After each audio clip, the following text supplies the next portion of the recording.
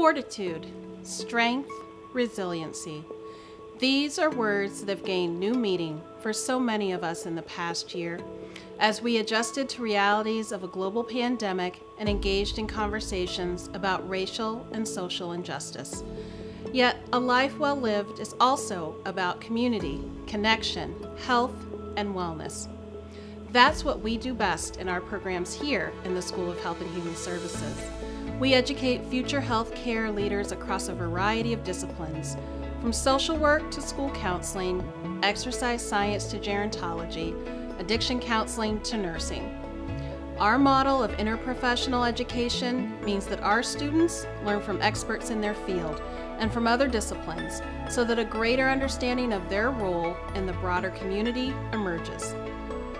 Together, we can sustain healthy people, relationships, and communities. We invite you to join us here at St. Cloud State University and the School of Health and Human Services.